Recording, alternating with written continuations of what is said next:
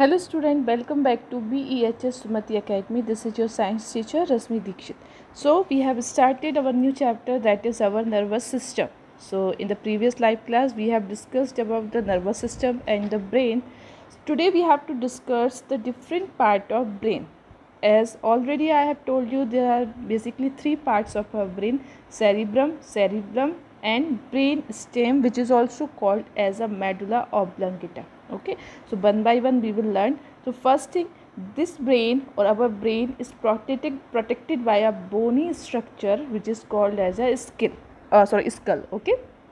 Our brain is protected by the bony structure which is also called as a skull and there is a fluid between the skull and the brain which protect our brain from against any damage.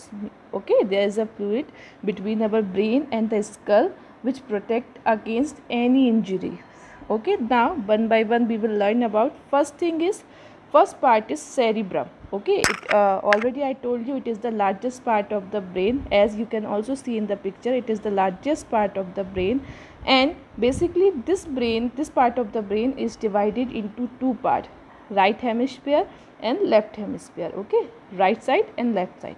Now the it is the main part of the brain because it is the part which receive the signal from the sense organ and also instruct our various body part to react accordingly. And also whenever we have to think we have to learn we have to keep memory in our brain this part is important because it controls our thinking learning and memory.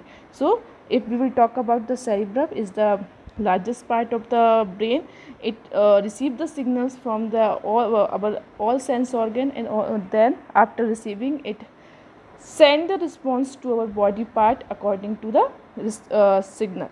And also it controls our thinking part learning part and memory part. Now next we have that is cerebrum okay next we have cerebellum so it basically this is the small the smaller than the cerebrum and it is located at the back of the head. As you can see in the picture it is located at the back of the head and just below the cerebrum. Okay just below the cerebrum. So basically this part of the brain controls or coordinate our voluntary movements. Like we have to how we can stand how we can sit means our posture how we can walk how we can uh, run means our balance okay? So basically this control this part controls and coordinate our voluntary movements like posture balance coordination speech activity like running walking cycling exercising.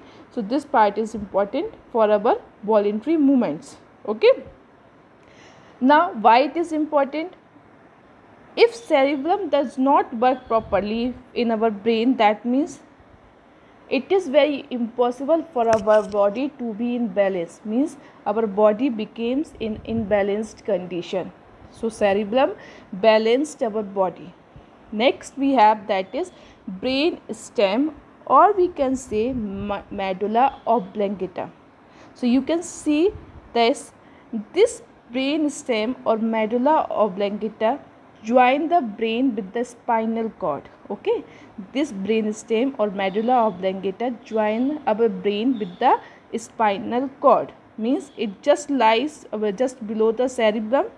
You can see and controls involuntary activities uh, like heartbeat respiration circulation and digestion okay? Now you can find a different function of different part like cerebrum controls our thinking learning memory part cerebellum controls our voluntary movements like walking running cycling posture okay?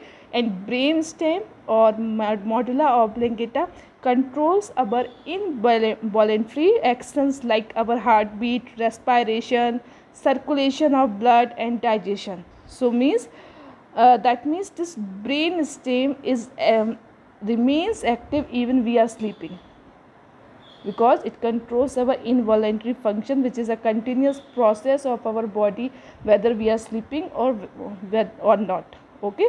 So these are uh, these are the function of three parts of the brain. So basically again i will